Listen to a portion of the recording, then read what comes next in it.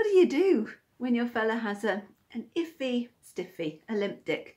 Do you worry that he's sick or just not that into it or into you? Is it an arousal issue or is his body that he won't play to obey an instant instruction to get an erection? Brewer's droop is easily diagnosed and treated. Sobriety equals less performance anxiety or is it stress or nerves? That's stunting his manly verve. What about those days his erection won't stay? And it's not a condom affecting his sexy form. Is it tiredness? Maybe just get undressed before the watershed, early to bed to catch the firm worm. Or suss out a time he's feeling fine, perhaps a hand job until he's erect. Shake his servant awake. Blow jobbing works.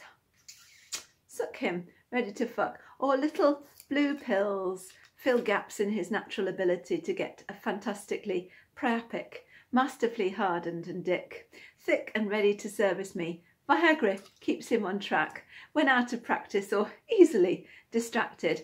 There's plenty of myths and taboos, even though ED isn't unusual. It's cool to do whatever works for his penis to perk, or there's many other ways of consensually relating than classically penetrating, or else just leave it till later. Wait until he's the action man instigator of lashings of passion rations.